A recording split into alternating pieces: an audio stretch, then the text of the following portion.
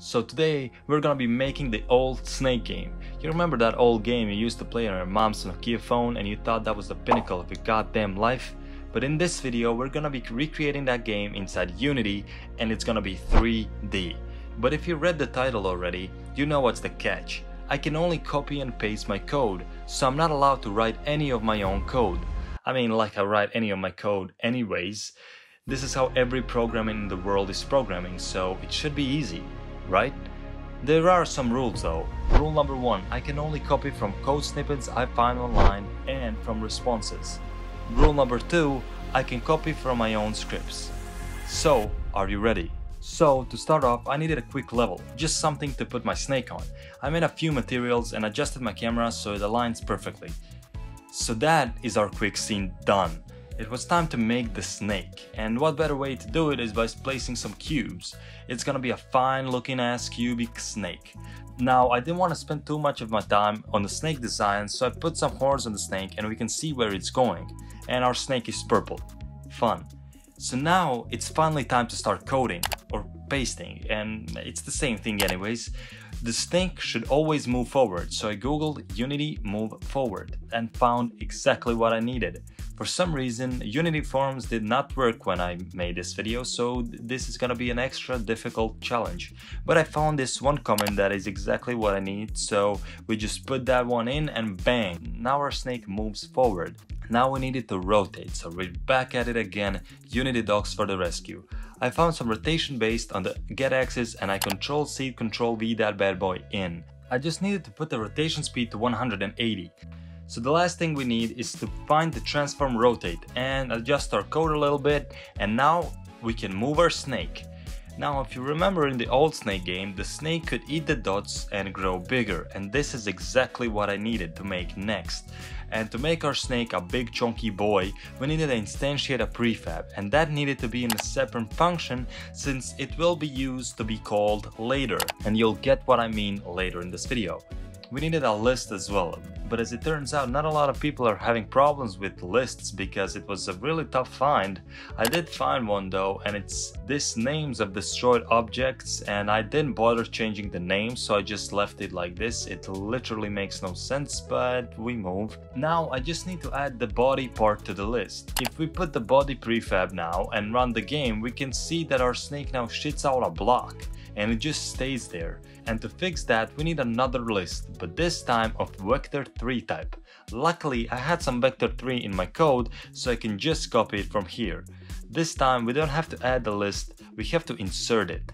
And for that we also need a for each loop and at this point I thought to myself what is even happening there's way too much code there's way too much going on there was way too many unnecessary things but everything is so goddamn random. It started to get a, just a tad bit confusing, but the thing that was saving me was the fact that I pasted a good amount of code so I could just copy it easily from my script. I needed a gap variable, so I just copied it insert, changed the first letter to be lowercase, and that was such a stonks moment. It was kinda simpler but harder in a way, if you get what I mean. I found this equation online pretty easily since it's just a math f min in the Unity docs always, so it's pretty much the same every time. And you know earlier when I was saying that it was getting a, just a tad bit confusing, well our code did not work. It's either I did my math incorrectly or I just got confused or probably both. The bugs came and said hi but I wasn't having it. I went in there to look Maybe by looking at the code it would work. Without changing anything, I started up the game and I mean, it still doesn't work. Why would, why would you think that would work? I, I literally changed nothing. But I'm starting to become a true programmer, the chosen one. Now, not only am I copying the code, now I'm blankly looking at the code, not sure what is wrong, and thinking, yes, this could be fixed by just looking at the code. But then, I have spotted a mistake. In the wild, and when fixing it, we moved one step closer to what we want. And you said looking blankly at the screen for three hours without doing anything was stupid. Well, who is stupid now? Well, it's technically still not fully working, so maybe I'm... yeah. Now I figure maybe it's this gap that just needs tweaking, so I played around with the numbers in the inspector and for some reason it started working.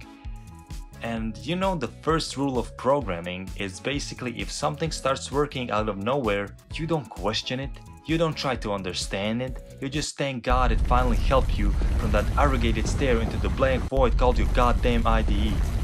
Now moving forward, I just needed the little cubes to rotate and look at the cube in front of them and that's supposed to be simple. For that I could copy a lot of things from my code, I just needed to look at transform. And look at our snake now, it's a thing of beauty. And the main thing is that it works. And could be as big as your goddamn mom. It finally works and looks so good. Ah, I love it. Now I need something that our snake would eat. And I chose an apple. So snake can eat it, it can grow big and chunky and when I added it I also added colliders and triggers. Also went online and found an on trigger event and it was on an enemy so I just used that. And when you enter the trigger destroy the game object aka the apple and grow the snake. Pretty simple. And look at our snake eating and growing. Now in the Snake original, these dots would appear randomly, so that is what I wanted to do next, and that is exactly what I did. I used random range in the instantiate method so that it would be totally random, but not outside the radius map. Pretty goddamn cool if you ask me. Now our snake can eat, grow, and apples are spawned randomly. Now we need to make these levels harder, so none of you non-gamers can beat my high score a simple adding the cubes as walls and setting them to if trigger to destroy the snake. For the score system, I created a simple UI that says score. Pretty innovative, and some random gentleman on the internet gave us the entire code. So now we have it, it's completely ours. Thank you, good sir. We needed to put it so that when you pick an apple, you get score. Now the last thing I wanted to do is the higher the score, the tougher the level gets. Now I quickly made some levels and don't question my level design, this is not what we're here for. And I put a bunch of if statements so it checks what score you're on and it enables a level based on that. Pretty simple, done. I copied the code mostly from all my other scripts because I had a lot what I needed there. And this, ladies and gentlemen, was what you've all been waiting for. It's the snake game made only by copying and pasting. So enjoy.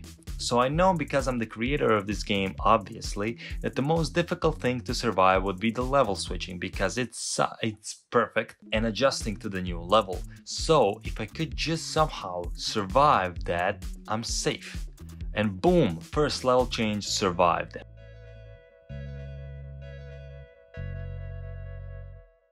My snake is getting bigger and big. Oh, almost died there.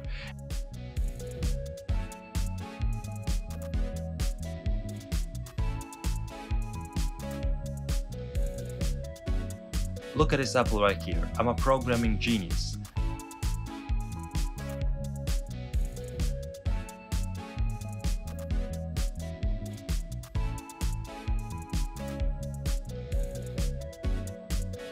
And this is how I lose, and it's not even by a level change, but what a simple mistake. I mean, it was such a non-gamer move, god damn it. So guys, if you want to try out this game and try to beat my high score of 350, which is difficult because you know me, I'm a pro gamer.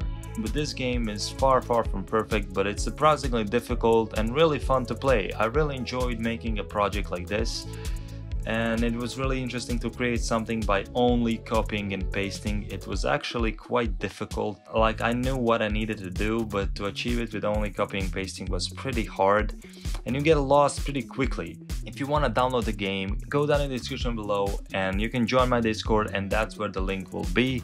Also, you can post the high score here in the comments or on the Discord. Tell me if you beat me and thanks for watching my video. If you enjoyed it, make sure to subscribe. It really means a lot and I'll see you in the next one. Bye.